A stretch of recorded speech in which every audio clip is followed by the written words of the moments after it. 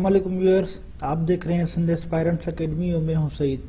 नाजरीन जेईएसटी और पीएचडी की प्रिपरेशन का आज हमारा दसवां लेक्चर है, जिसमें हम सिक्स क्लास की मैथ का तीसरा लेक्चर कवर करेंगे, जिसमें सेवन्थ एट्थ नाइन्थ टेंथ और एलेवेंथ चैप्टर जो है हम पढ़ेंगे और उनके जो भी इम्पोर्टेंट चीज़ें हैं उनको सॉल्व करेंगे।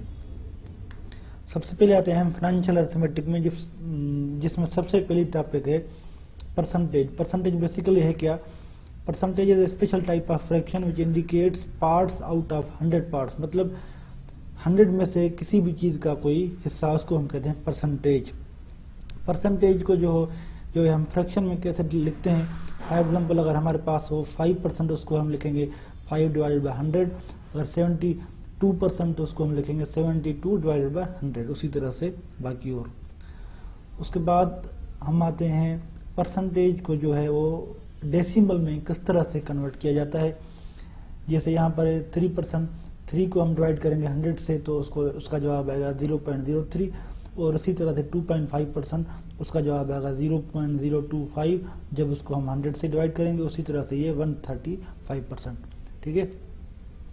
उसके बाद हम आते हैं कुछ एग्ज़ाम्पल पर, जिसमें पहला एग्ज़ाम्पल है फाइंड 15 परसेंट ऑफ़ 75 मतलब किसी भी क्वांटिटी की जो है परसेंटेज किस तरह से मालूम की जाती है? जैसे यहाँ पर है 15 परसेंट ऑफ़ 75 तो हम क्या करेंगे? 15 डिवाइडेड बाय 100 उसको मल्टीप्लाई करेंगे 75 से। तो हमारी परसेंटेज निकल आएगी। उसी तरह से जो है, एक और एग्ज़ाम्पल है यहाँ पर नीचे। 75 percent students out of 40 were present in test how many students were absent मतलब 40 में से पचहत्तर पचहत्तर परसेंट स्टूडेंट्स टेस्ट में आए, बाकी कितने एबसेंट थे? हम जो है 40 का 75 परसेंट पहले निकालेंगे तो वो निकलेगा 30 40 को 30 में माइनस करेंगे तो जवाब आएगा टेन स्टूडेंट्स ठीक है? उसके बाद हम आते हैं कि अगर हमें क्वांटिटी भी मिली हुई हो और परसेंटेज भी मिली हुई हो तो हम टोटल क्वांटिटी को किस तरह से मालूम करें? जैसे यहाँ पर एग्ज़ाम्पल दी गई है find the quantity of if 75 percent of it is one two three मतलब कि हमें क्वांटिटी भी दी गई है परसेंटेज भी दी गई है। हम टोटल क्वांटिटी मालूम करनी है। इसका फार्मूला क्या है? डिवाइडेड बाय परसेंटेज तो यहाँ पर इसको किस तरह से सॉल्व करेंगे? यहाँ पर सॉल्व किया गया है उसको। One one twenty three divided by seventy five percent उसकी जो साइन को हम चेंज करेंगे मल्टीप्लीकेशन में तो ये आएगा one one hundred and twenty three multiplied by hundred divide by seventy five उसका जवाब आएगा वन सिक्सटी फोर उसी तरह से एक और एग्ज़ाम्पल यहाँ पर दिया गया है। उसके बाद हम आते हैं प्रॉफिट लॉस और डिस्काउंट के ऊपर। प्रॉफिट क्या होता है? किसी भी चीज़ से जो मुनाफा कमाते हैं लॉस जो नुकसान होता है, उनके फार्मूले क्या हैं? प्रॉफिट का प्रॉफिट परसेंट का फार्मूला है। Profit divided by CP into hundred percent और लॉस का क्या फार्मूला है? Loss divided by CP into hundred percent अब इनके हम एग्ज़ाम्पल भी सॉल्व करेंगे। और उसके बाद होता है डिस्काउंट डिस्काउंट क्या होता है? Discount percent is calculate only on the mark price and not on the selling और कास्ट प्राइस यहाँ पर जो है एक एग्ज़ाम्पल दी गई है। Mark price of an article is four hundred and it is sold at a discount of ten percent find the net selling price of the article सबसे पहले चार सौ का हम दस परसेंट निकालेंगे तो वो निकलेगा। चालीस चालीस को जो है हम माइनस करेंगे। चार सौ में से तो उसका जवाब जवाब आएगा थ्री सिक्सटी उसी तरह से एक एग्ज़ाम्पल और दी गई है। Fruit seller purchase forty dozen banana in all and their cost price fifty per dozen he sells all banana at the rate of sixty per per dozen find his total profit कीमत है पचास रुपये तो चालीस की कितनी होगी? दो हज़ार रुपये सेलिंग प्राइस है, ये सिक्सटी उसको हम करेंगे फोर्टी से मल्टीप्लाई तो ये बन गए चौबीस सौ रुपये चौबीस सौ को माइनस करेंगे दो हज़ार में से तो उसको जो प्रॉफिट मिला, वो मिला मिलेगा चार सौ का। उसी तरह से एक और एग्ज़ाम्पल है, जिसमें Saima purchase mobile set for fifteen thousand after some time she sold it for twelve thousand wide find her loss percentage उसने उसने जो है पंद्रह हज़ार में खरीदा, बेचा जो उसने बारह हज़ार में, उसको जो है हम कैसे निकालेंगे? पंद्रह हज़ार माइनस बारह हज़ार, उसका जो नुकसान हुआ, वो हुआ तीन हज़ार का। ठीक है? उसके बाद यहाँ पर दो एग्जाम्पल्स और दिए गए हैं, जिनको आप सॉल्व कर सकते हैं। सॉल्व किए गए हैं यहाँ पर। उसके बाद हम आते हैं इस चैप्टर की समरी के ऊपर। परसेंटेज क्या है? What percent means out of hundred means percentage is इसकी ये जो सिंबल है यहाँ पर लिखी हुई है। Percentage can be converted into common और डेसिमल फ्रैक्शन ये चैप्टर बहुत ही इंपॉर्टेंट है। सिर्फ़ पीएसटी या जेएसटी के हवाले से नहीं है। आमतौर पर जो भी जॉब्स की डिफरेंट जॉब्स की टेस्ट होते हैं तो इस चैप्टर से बहुत सारे एमसीक्यूज आते हैं। उसके बाद हम आते हैं चैप्टर नंबर एट जो है अलजिब्रा के बारे में। ठीक है? हिस्ट्री के ऊपर लिखा हुआ है algebra is the invention of Muslim in 820 Muslim mathematician Mohammed ibn Musa Khwarizmi wrote a book named algebra al Muqabala the first translation of this book named algebra was published in Europe Latin which is a base of the subject algebra ठीक है? उसके बाद हम आते हैं representation in symbols यहाँ पर words में लिखा हुआ है, उनको यहाँ पर जो है डिफरेंट सिंबल्स में शो किया गया है. In languages a sentence is set of words making a complete grammatical structure and conveying full meaning full meaning open statement पे open statement क्या होती है a sentence that does not include enough information required to decide whether it is true or false is known as open statement मतलब कि एक ऐसा जुमला जिसमें कोई ऐसी इंफॉर्मेशन ना हो जिस जिससे ये पता चले कि ये सही है या गलत तो हम उसको कहते हैं ओपन इंफॉर्मेशन यहाँ पर एग्जांपल दी गई है एक dash plus five is equal twelve is an open statement. अगर हम यहाँ पर इस डैश को रिप्लेस करते हैं, करेंगे चार के साथ तो four plus five is equal is equal to twelve. ये सही नहीं है, क्योंकि four plus five is equal to nine. अगर इसमें डालेंगे seven plus five is equal twelve तो ये बनती है ट्रू स्टेटमेंट। ठीक है? उसके बाद आते हैं any of the letter of English alphabet which is use to denote number in algebra is variable हम अल्फ़ाबेटिकल अल्फ़ाबेटिक्स का कोई भी लेटर जो अलजबरा को डिनोट करने के लिए इस्तेमाल करते हैं, हम उसको कहते हैं वेरिएबल वेरिएबल के पहले जो चीज़ आती है, हम उसको कहते हैं कोएफिशिएंट ठीक है an algebraic expression consist of terms which are connected by the operation of addition and subtraction ठीक है? यहाँ पर कुछ कुछ एग्जांपल्स दी गई हैं. Write the number of terms in the following expression five x plus seven seven seven y, इसमें जो नंबर ऑफ़ टर्म है वो दो हैं। इसमें जो फाइव है वो कोएफिशिएंट है एक्स जो है वो वेरिएबल है। उसी तरह से यहाँ पर सिक्स कोएफिशिएंट है एक्स जो है वेरिएबल है।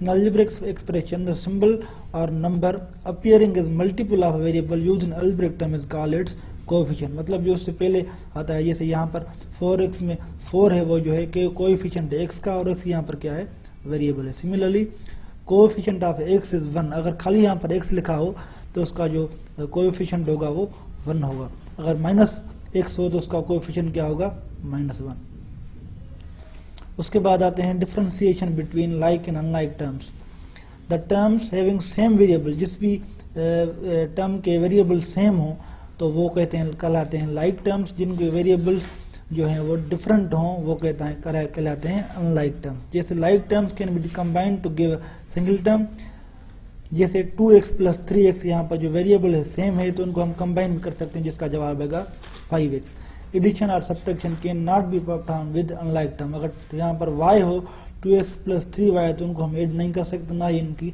सब्ट्रैक्शन हो सकती है.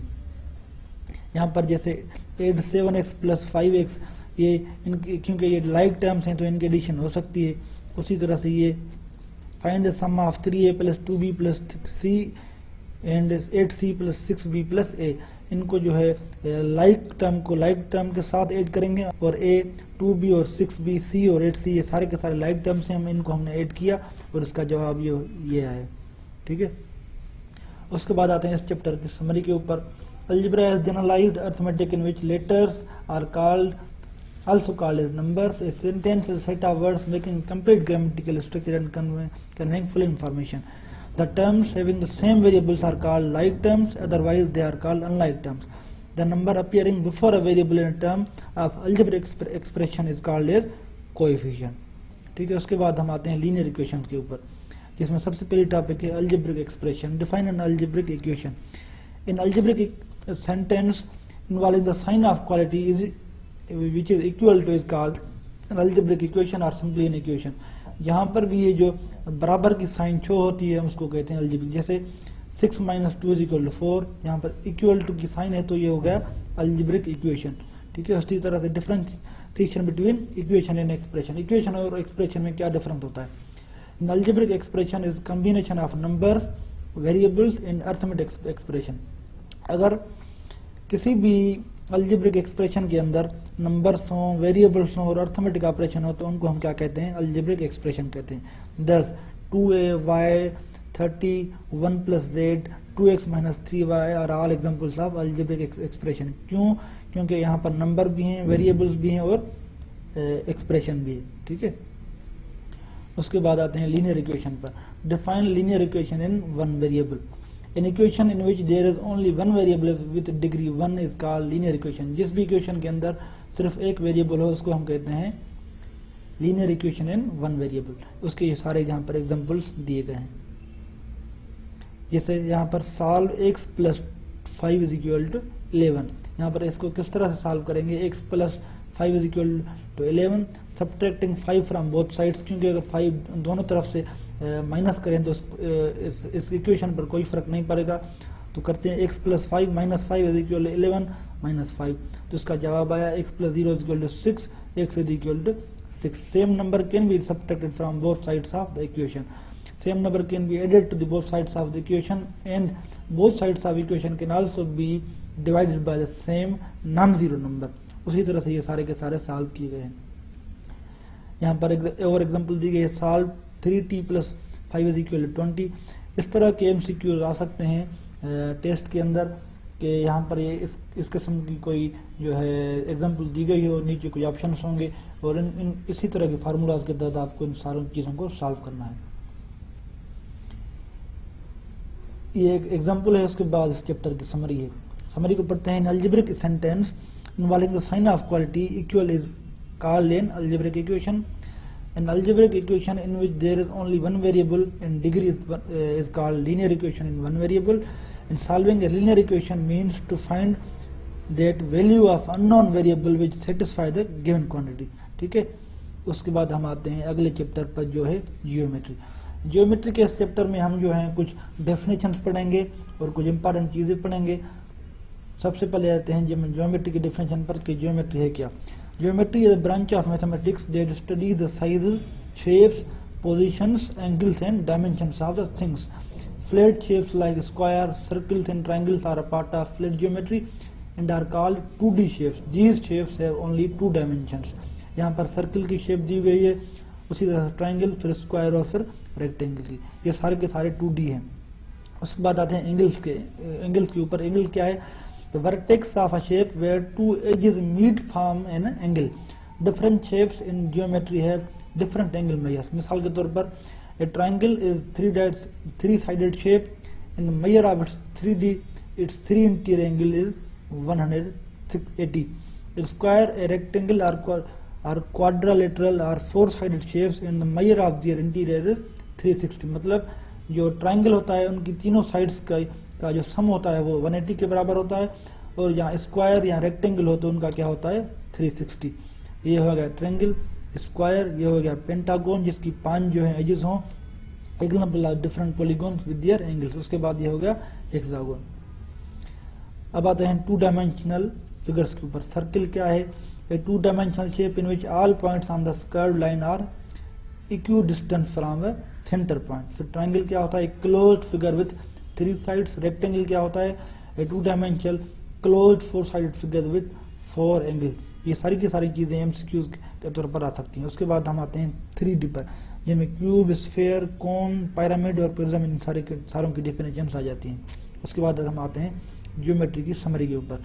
Line segment is a part of line हर हर एक चैप्टर की जो समरी है, उसको हर सूरत में पढ़ना चाहिए, क्योंकि मोस्टली जो एमसीक्यूज हैं, वो समरी के अंदर से आ सकते हैं, क्योंकि समरी में डेफिनेशन लिखी होती हैं।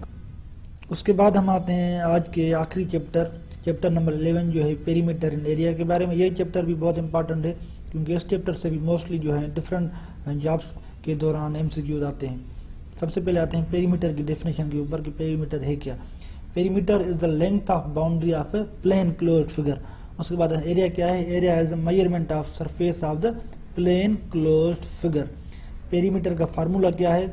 Perimeter of square is equal to four into side उसके बाद एग्जांपल है यहाँ पर find the perimeter of square whose each side is five centimetre long उसका फार्मूला है four into multiplied by side यहाँ पर फोर मल्टीप्लाइड बाय साइड कितनी है? हर एक पाँच four into five is equal to twenty centimetre अगर साइड मालूम करनी है, वो किस तरह से मालूम करेंगे? Side of square is equal to perimeter of square divided by four अब आते हैं एग्ज़ाम्पल के ऊपर।